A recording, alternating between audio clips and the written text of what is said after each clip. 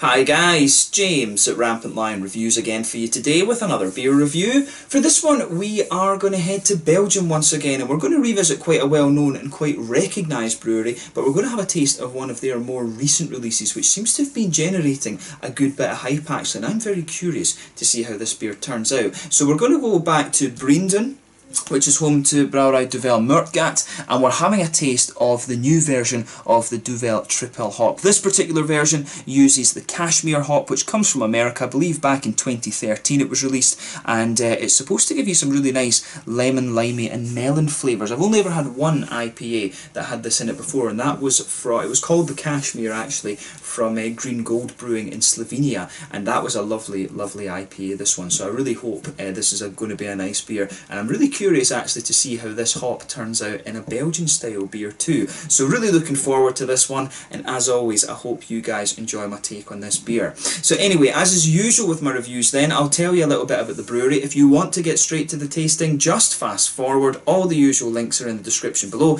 That's the brewery website, the link to my other reviews that I've done from Duvel Moortgat before. No doubt there will be some more in the near future. There's all the usual social media. If you want to see more beer reviews do please consider subscribing to the channel. The whole channel, of course, has a geography-based tagging system, so you can go into the home page and search for beer based on country, city, state, county, prefecture, whatever it is you're interested in. Do check out the playlists of beers from different countries. There is one there for all the Belgian beers that I've reviewed for you. That's constantly being added to, and as always, please do get in touch and let me know some of the other beers and breweries that you guys would like to see me review. It's always great to hear from you guys that are watching the videos, and the support that you show the channel is hugely appreciated. So anyway, on to my brewery notes then to tell you a little bit about Brouwerij Duvel Moortgat. So Brouwerij Duvel Moortgat, as I mentioned to you, um, is a small Flemish family-owned brewery, and it was founded back in 1871 by Jan Leonard Moortgat, who came from a family of brewers from Steenhuffel, and the company is based in Breendonk in Belgium, which is a small town of only 3,000 people, halfway between Brussels and Antwerp. But in 1970s, uh, or in the 1970s, the company was struggling financially, and so to make ends meet, they actually brewed and bottled Tuborg beer from Denmark, and this helped them create the large distribution networks that benefited the Duvel brewery later on. But thankfully, since then, the company has gone on to be very successful, and they actually own shares uh, or own outright a number of other breweries. So um, they were also an investor in the Omegang Brewery in Cooperstown in New York. They purchased Brasserie d'Achouffe and the De Brewery in 2006 and 2010 respectively, and in 2014 they also acquired Boulevard Brewing in Kansas City, Missouri in America, and the following year in 2015 they purchased Firestone Walker, which I believe is Paso Robles in California too. You've seen me review a number of their beers in uh, in recent times. So a brewery that does have quite a, a, good portfolio of other things underneath it, but from what I gather, they do let these other breweries, if you like, do their own thing and maintain their own business and stuff. So really quite cool in that regard, I have to say, that they're not coming in and just taking over. It's more like a case of lending expertise and lending distribution networks and stuff like that. And that really has helped the Firestone Walker beers get out there a little bit more than they were previously. But obviously with Duvel Moortgat, the flagship beer is the Duvel beer, and this is exported to more than 40 different countries worldwide. The word from the word Duvel actually translates into English as devil from Brabantian, which is the Ghent and Antwerp dialects of Dutch, but the standard Dutch word is actually Duvel. But this beer, the original beer was originally brewed under the moniker Victory Ale in the 1920s to commemorate the end of the First World War. But an avid drinker, drinker apparently described it as Nen Echten Duvel, eh, a real devil basically, and perhaps this reference, it was a reference to the ABV, you know, it was 9.5%, which is, you know, pretty monstrous actually, but this meant that the name was changed officially to Duvel beer and it's stuck ever since. But this, uh, the original beer is brewed with Pilsner malt and dextrose and it's hot with Saaz and Styrian Goldings and the yeast strain apparently comes from an original culture of Scottish yeast that was bought by Albert uh, during a business uh, tour to Scotland just after the war actually. So this beer, the Duvel beers, do have a little bit of a Scottish connection which always makes them a little bit special to me of course. Um, but yeah, this one is basically that original beer, but just with a little bit of a cashmere hop added to it. So, um, or a hell of a lot of cashmere hop added to it. I'm not quite sure at the moment. But yeah, that's all you really need to know about Duvel Moortgat. A really uh, nice company, this one. That um, they're they're kind of interesting in that way. They stick to brewing one main beer and uh, they do little experiments with it and things like that. So definitely one of the more recognisable Belgian breweries, in fact, and uh, you can't really go wrong with a Duvel. You know, Duvel and Leffe and things like that. You have got these certain these beers from Belgium that are definitely go-tos, and Duvel for me um, is one that I like to have every so often. It's very rare that I drink the the same beer more than once, to be honest with you. I always like trying different things, but um, Duvel, you know, I have had that a couple of times, I have to say. But yeah, that's all you really need to know about the brewery just now. If you want to learn a little bit more, of course, you can check out the brewery website in the description below. You can follow them on Facebook and things like that and Instagram and that'll keep you up to date with all the latest goings on there. But yeah, let's get on to the actual tasting of this beer itself then. So as I mentioned at the start of the video, this one comes in at 9.5%. I guess you could describe this one as being a Belgian strong golden ale and it's basically the original Duvel beer with a bit of cashmere hop added to it. So just to tell you about the cashmere hop, this is an American hop as I mentioned too. It was developed by Washington State University. It was released back in 2013 and it's a crossbreed between Cascade and Northern Brewer and it gives you aromas and flavours of lemon, lime and also melon too. I've had one IPA as I mentioned uh, that I've had this beer in before and it is pretty damn nice. But now we can get rid of the brewery notes and we can actually focus on tasting this beer then. So I'll just let you have a little look at the artwork of this one before we open up. Very similar to what you would get from the regular uh, triple hops. As far as I know, I think there's been, I've got a feeling, I know there's definitely been a Citra and an Amarillo uh, triple hop one. I think this might be the fourth. I've got a feeling they maybe did a, um, a Simcoe one as well, but it would be cool to try the others right enough. But there you can see, um, there's the standard triple hop um, bottle cap on this one. It tells you a little bit on the back. Um, introducing Cashmere, this highly sought after newcomer to the world of hops, uh, enriches uh, an already unique palette with refreshing notes of citrus, peach, melon and tropical coconut. So um, yeah, should be cool. And as you can see, little limited edition stamp on the side of the bottle there too, which is nice. So let's get this guy out then and we'll get on with the tasting. I'm really curious to see how this one turns out. Incidentally, for those of you watching in Sweden, this beer was released on the 3rd of May 2019 through the small partiers in Systembolaget and it does seem to be actually, um, I did notice in the shop in Landskrona that they had a hell of a lot of them so I think they, they have a hell of a lot, a lot of this beer in but it is a limited edition so if you want to try this one buy it up as soon as you can. You guys will be seeing this video just about a week after this beer was originally released actually. So yeah, as you can see with this beer, it's poured a lovely um, hazy golden colour. One or two big bubbles sticking towards the side of the glass and a few little ones just heading up towards the bottom of that head there. You can see there's a solid finger of a frothy, I would say pure white head, but the head is a little bit more bumpy towards the, the top of that beer there. If I put my fingers behind it, you can see that it is nice and hazy, but definitely pale golden straw colour, not too far away from the, the colour of the original Duvel, if I remember rightly. I thought the original Duvel was a little bit more orangey than this, right enough, but it could well be that I've just uh, forgotten. But you know, it looks like a lovely, kind of bright, light Belgian beer, this one, and the head actually has just gotten gradually more bumpy. But yeah, nothing particularly surprising about this one when you consider um, the original Duvel actually. I just remember the original Duvel being a little bit darker than this. But as soon as you open this beer up, you do smell a little bit of the Pilsner malt coming out at you. It's got that sort of light, airy, kind of bready, crisp type thing that you'll get from Pilsner malt actually. But yeah, it looks really nice. So let's take a closer look at that aroma and just see how we get on then. Mmm. So yeah, with this beer, straight away, um, this one I think leans more towards the malty side of things, but it's also got a good little bit of hoppy character as well. Um, so you can pick up the nice kind of smooth, white bready, wheaty base to this one. You can smell some of the more yeasty qualities. Belgian beer, of course, is very, very focused on the yeasty side of the beer. So you pick that up right away. There's a little bit of a grainy and biscuity um, note to the um, to the malt base as well, which I think is really nice. Um, so there is a degree of sweetness to this one. But yeah, um, definitely white bready, wheaty kind of characteristics. Definitely a little bit of pale, kind of pale and pilsner malty notes coming out of this one too. A little bit of a, a biscuit sweetness, and there's definitely a sort of grainy note to this beer. It almost smells a little touch kind of soapy or something like that, which is interesting. But yeah, um, on the hoppy side of things, you can definitely pick up those sort of um, noble hoppy qualities coming out of this one. You know, the Saaz hop is very similar Uh, this the Saaz Hop and is it Styrian Goldings is the other one? Yeah, Saaz Hop and Styrian Goldings.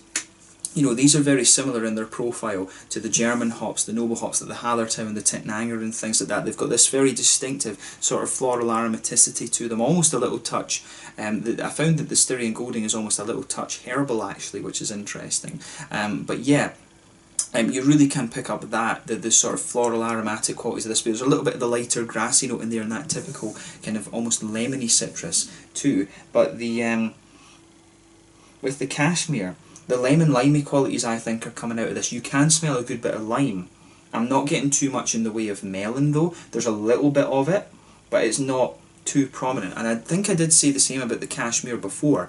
Um, cashmere, from what I gather, it's not, I mean, it obviously depends on how much you use, but it's not the punchiest of hops in terms of its aroma. It's more its flavour where it does the talking actually. But to me, this beer, um, to be honest with you, from what I remember, it doesn't smell all that different from the original Duvel. I mean, there is a little bit of a melony quality in there, a little bit of a limey note. But other than that, the aroma of this one is very, very similar to the original Duvel. But I guess when you've got a hop like Citra, which is mangoes and a little bit of grapefruit sometimes and, th and, and things like that that can be very complex, you're going to notice the difference a little bit more than this hop where it's, it's lemon and limey, which can kind of blend in a bit with some of the esters that you'll get from the the um, the hop the, the traditional hops if you like like the Saaz and the uh, the Styrian Goldings from Slovenia. Um, but yeah um, as I say take a little bit of time and enjoy the aroma of this one. But I will say I find the aroma of this one very similar to uh, to the original Duvel but I'm sure the flavour will have some really interesting things in there. It's quite a highly rated beer this incidentally. I think it was sitting around 3.8 on Untappd, and it was 96 when I checked it out on uh, Rate Beer earlier as well. But yeah let's get stuck into this one then. Very curious to see how this turns out. So this one is the triple hop cashmere, a limited edition version of the Duvel from Brouwerij de Moortgat in, the, in uh, Belgium. Let's get stuck into this one. Slàinte, Skull, Proust, Santé.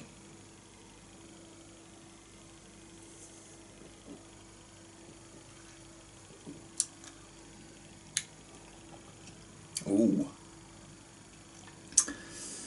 Yeah. That's quite nice. The first thing I'm thinking about this beer though is the carbonation is a little bit active in this one, so take a few sips of it before you start thinking too much about this beer.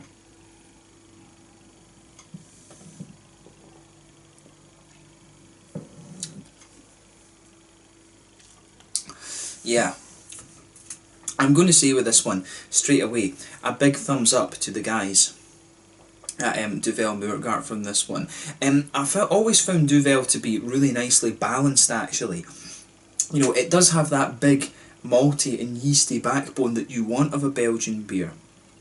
And it does become a little bit sweeter, um, but it does have that um, kind of kick to it, if you like. It does have that little bit of a bitter snap to it that gives you the kind of freshness and crispness that you also want from like a blonde beer or something like that. I've always found that that thing, that perspective about Belgian brewing quite interesting actually because you do want to have a balance between drinkability and also having those big flavours that um, Belgian beer is renowned for.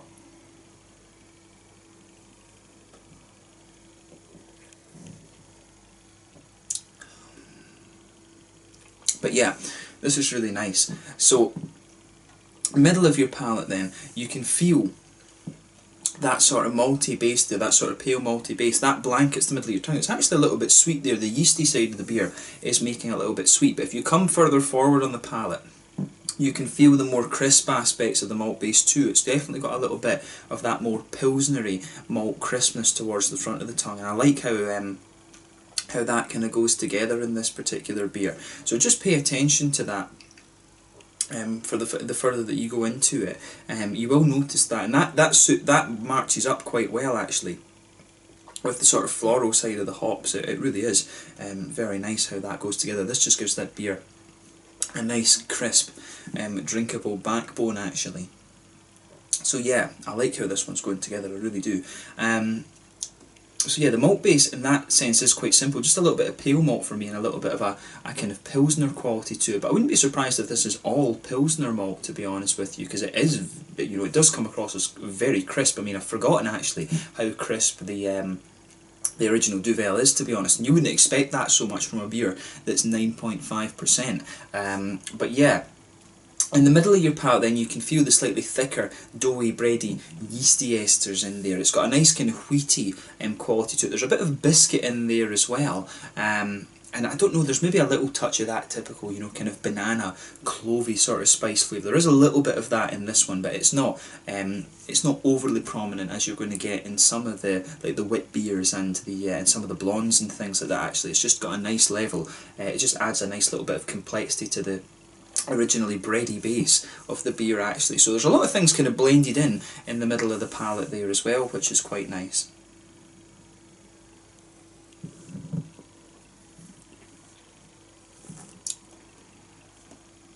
But yeah, I like how um, I do like how this one's going together. I'm finding that the more and more I drink of this one, the slightly sweeter that malt base gets. You can really feel it smoothing out, uh, smoothing out, and you start to get the um, the nice kind of the more biscuity sweetness out of it as well. When you go further into the aftertaste, it's the yeasty qualities, the doughy kind of wheaty bready yeast kind of notes that are in there, and also some of the biscuity sweetness as well um, which is good. It's just merging together very, very nicely.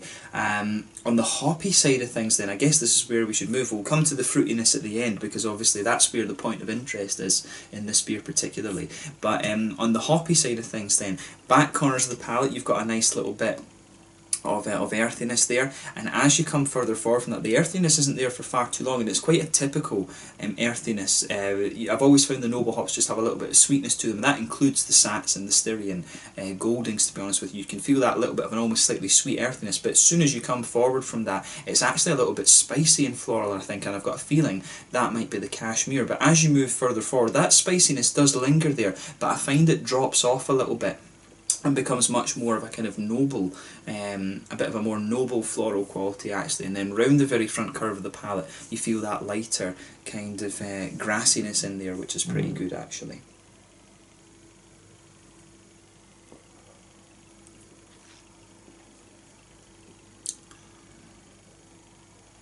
But yeah, the way the the the way that the hops just have that nice freshness to them is, uh, is really quite nice. I do like how crisp this beer is. I'd actually really forgotten that about uh, Duvel, um, but yeah, it really goes together quite nicely, I have to say. So again, this beer gets a big thumbs up from me.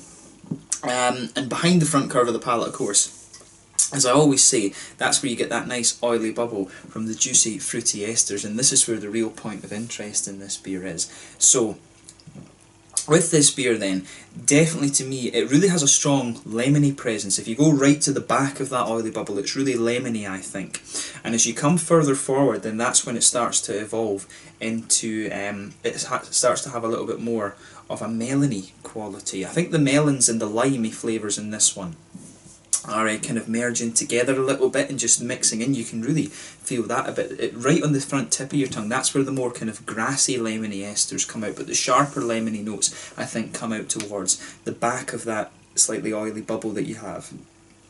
But then, yeah, limey, melony flavours in front of that. I want to say that the melon is a little bit more in the middle of there, but then the lime comes out a bit more towards the front, I think and then on the very tip of your tongue it's the kind of grassy notes. They were saying on the bottle of peach, um, I can see why they might say that. It almost tastes a bit peachy around the edge of the tongue. I've always found peach to be a little bit sharp in its flavour actually, but to me it is more lemony and limey.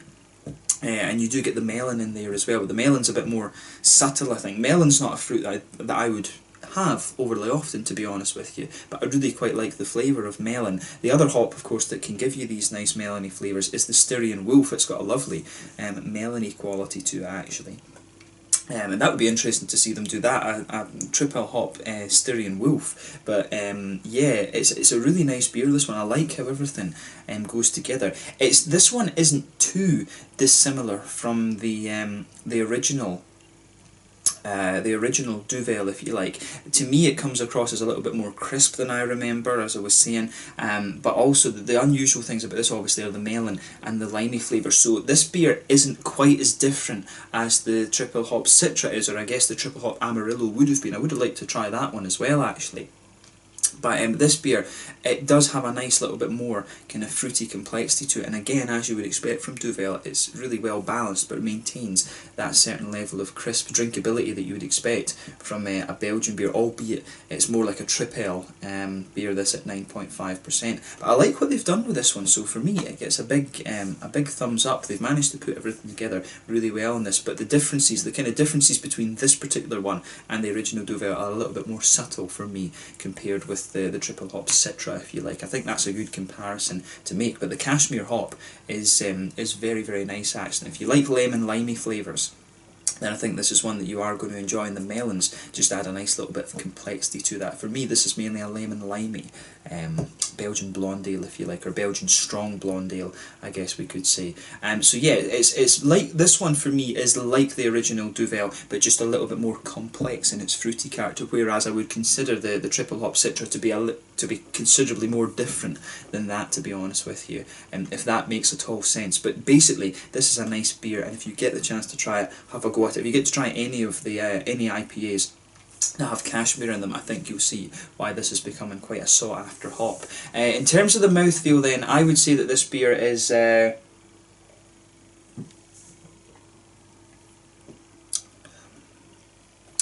I would say this beer is kind of mid-bodied, pushing towards the top end of mid-bodies. Carbonation in this one is pretty active, and I mean in Belgian beers, carbonation is always a little bit more active because of the, the bottle conditioning and uh, and stuff like that. So carbonation will always give you a little bit more activity than will in others. I would describe the mouthfeel this one as being a little bit oily, but also kind of quite smooth and crisp. I think that's a fair thing to say. The malt base in this one gives you a nice little bit of smoothness, but the yeasty qualities come into that a bit later and give you a little bit of sweetness in the middle of the palate too.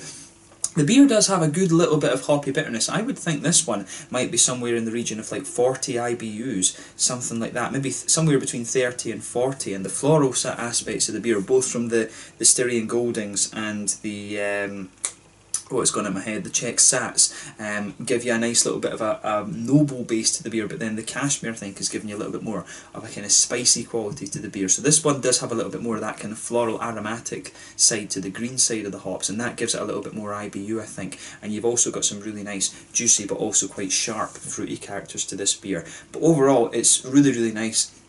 Uh, and I'm glad that I was able to review this one for you. So I hope you guys have enjoyed my take on this one as well. Although this feels a bit more like a a less kind of um, concise review or whatever, if you like. It doesn't feel to me. This doesn't feel like um, I've gone overly into detail on this one, but to me this is just like a slightly more complex version of the original Duvel rather than being almost a completely different beer, as was the case with the Duvel Citra. But it's still really nice, and if you get the chance to try it, I recommend that you do, even just to have a go at this original Cashmere, uh, uh, the new Cashmere hop, although it has been around for about five, six years now actually. But yeah, let's leave it at that for this one. So this one was the Tripel Hop Cashmere from Brouwerij Duvel Moortgat in, uh, in Belgium. A really nice beer this, and I'm glad I was able to review it for you. Make sure you pick it up while you still have the chance. But once again, thank you for watching my beer reviews. Until the next time, please like, subscribe, share, all the usual YouTube stuff. Let me know your own thoughts on this one in the comments section below. Let me know what your favourite beers are from Duvel Moortgat as well, and we'll definitely return to these guys